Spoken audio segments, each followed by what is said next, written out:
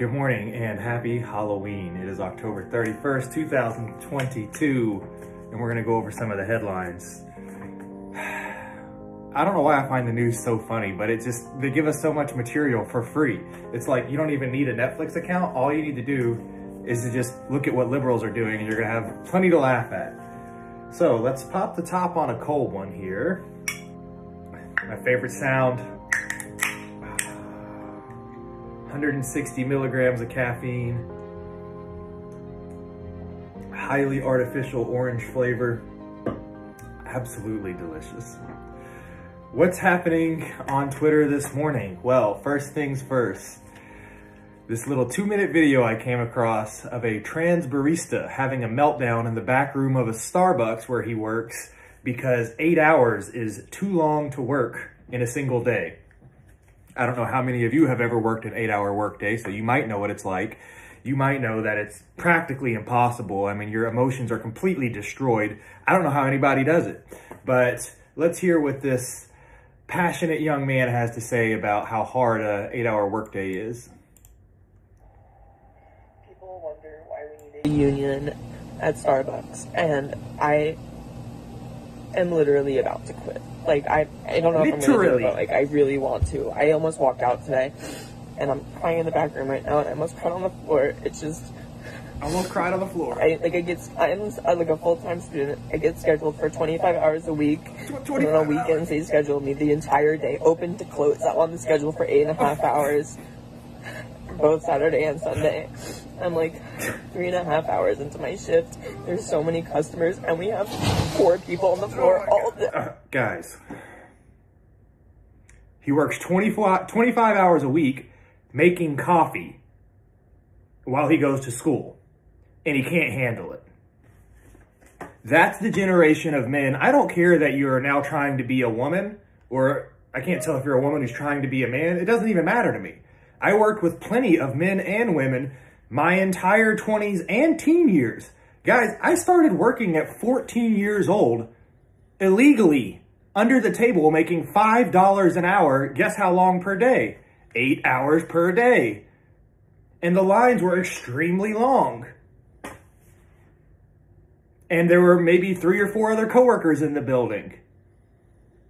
I'm pretty sure if I could do that while going through puberty at 14 years old, you can do this as a fully grown college student. But this is like the level of snowflake, the level of sensitivity of alleged men that we are dealing with. And it's that's not even men. Anybody. Now look, women clamored and said as loud as they possibly could that we deserve equal representation in the workforce. So whether this is a a, a man, woman, trans trans woman, trans man, whatever this thing is, if you want to work an eight-hour workday and you want to be compensated for an eight-hour workday, then you don't get to sit here and bitch about how hard an eight-hour workday is. Literally crying on the in the back room. I can't deal with these people, man. I can't even. Like, I got 38 seconds into that two-minute video, and I just can't watch anymore. Um, I'll go back and watch it later because I'm sure it's really, really funny. But uh, I, yeah, like, come on, guys. Next up, what's up? What else is in the news? Oh man, we got more Kanye. This is a quick one though, guys. It's like 15 seconds. The thing about the red hat that drove me to a point of exhaustion, which was misdiagnosed by a, I'm not going to say what race, what people, uh, doctor, and what hospital, and what media went to. We know I can't say that. It was a Jewish doctor. the thing about the red hat that drove me to a point of Oh my goodness, Kanye. Like, I'm not gonna say it. We know we can't say it. I'm not gonna say it. It was a Jew.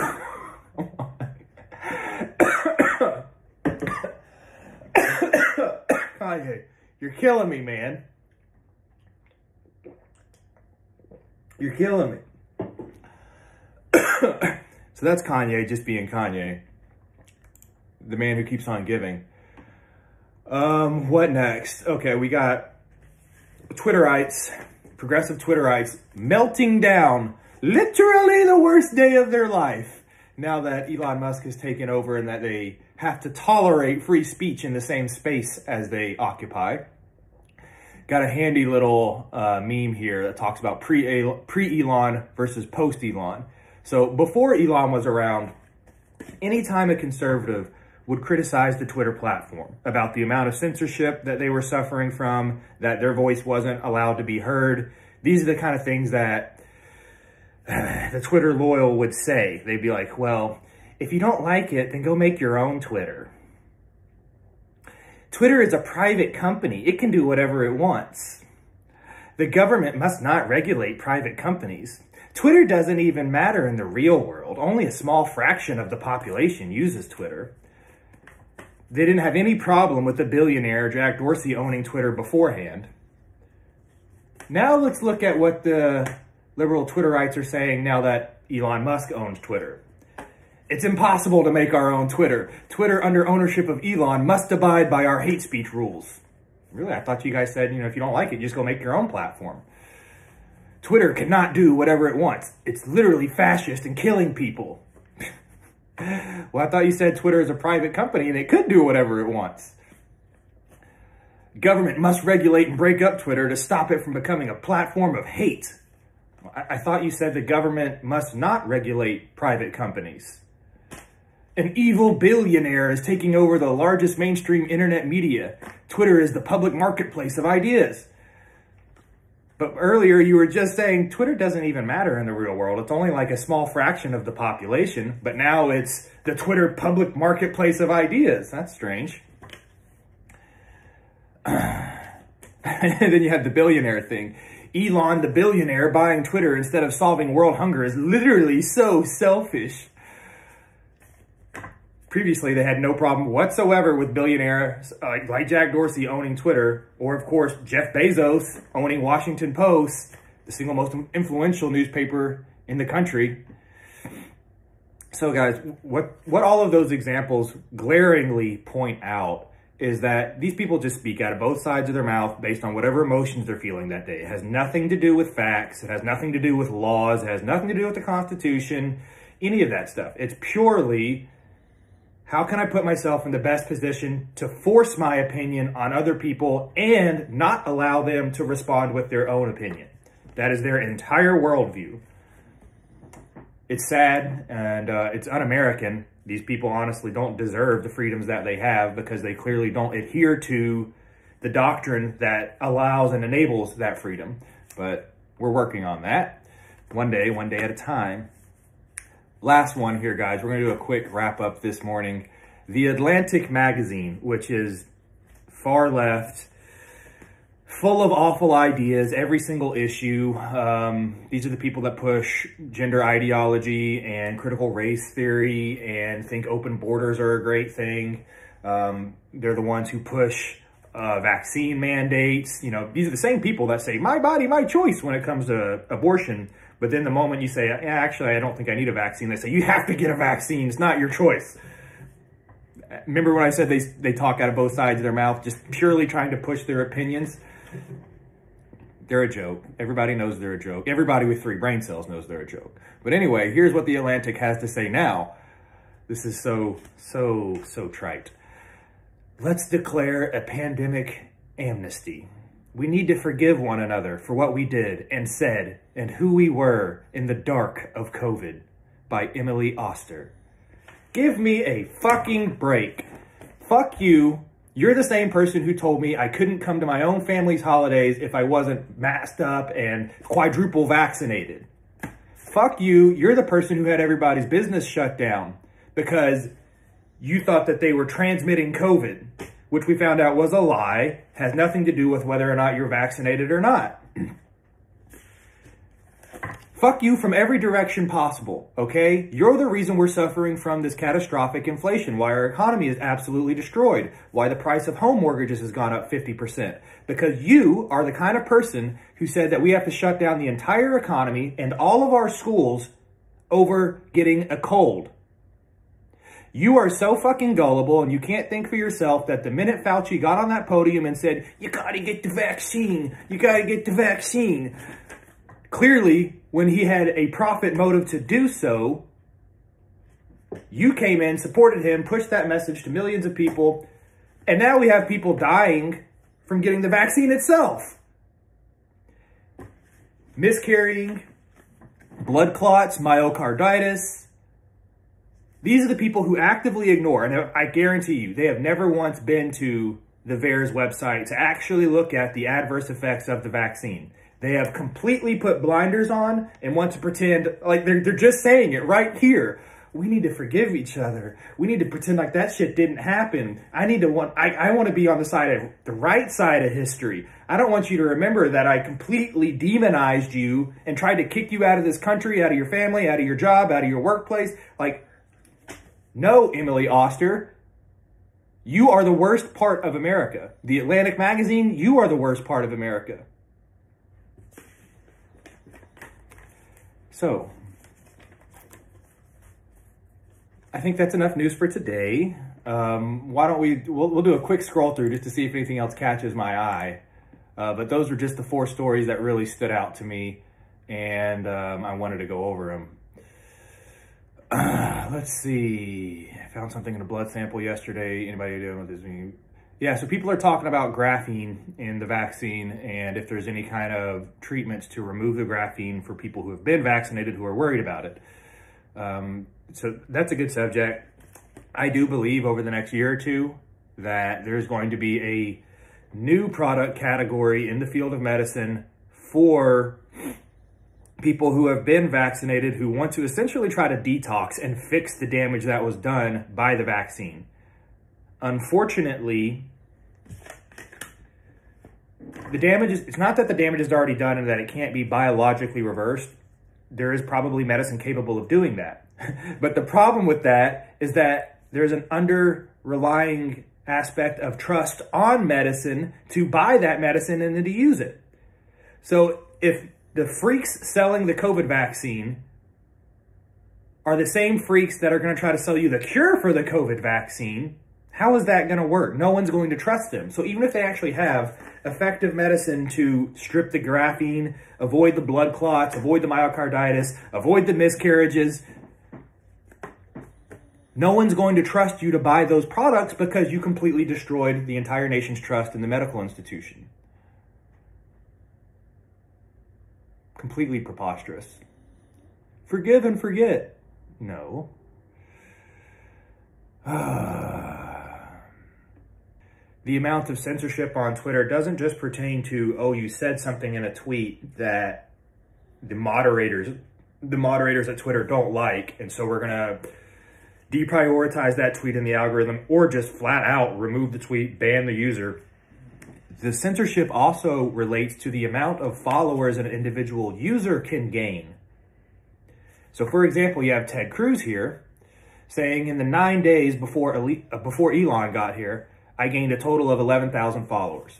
The instant Elon walked in, in the last four days since then, I've gained 85,000 and counting. interesting statistical anomaly. Da, da, da, What else we have here? We have Biden touching what appears to be a very young girl on the breast. Why am I not surprised? Um, look, I'm not going to split hairs on that one. Was that a kiss on the mouth? Hold on. Oh, it was. I don't know who this little girl is, um, but apparently, I hope her parents are okay with kissing an 80 year old man on the mouth and him feeling her breast in public. I got, I got to take a drink on that one. I got to take two drinks on that. I need a shot after that. That's what I need. I need Jack Daniels, even though it's early in the morning and I don't drink. I need Jack Daniels to sit here and watch the United States president grope and kiss a very young female. I mean, she looks like she's a teenager. And, you know, with the way kids age nowadays, it's hard to say. Like, she could be anywhere from 14 to 20. I can't tell, but she's, she's definitely young. Can we figure out who this little girl is? Who is this young lady? Why is she letting him do this? 36 comments. Gross, money, power imbalance. She wasn't letting him. She tried to back up and get away from him, but he kept going after her chest. It's his granddaughter with the puke emoji. Um, it's his granddaughter. Yeah. Oh, God. Okay. So America is divided into two halves right now. There are the people who have read Ashley Biden's diary, and there are the people who have not. There are the people who have looked at the content on Hunter Biden's laptop, and there are the people who have not. The people who have not, when you bring up these subjects, try to say, what does that have to do with Joe Biden? That's his kid's business. They're not the president of the United States. Okay. They're trying to deflect and cover for the man that they love, for the political party that they vote for. Obviously. Obviously. However, this isn't even controversial. Like you can read a copy of the diary, you can watch the videos off of the laptop. The videos containing Hunter Biden smoking crack, weighing crack on a scale, hiring prostitutes, naked with his dick flopping around.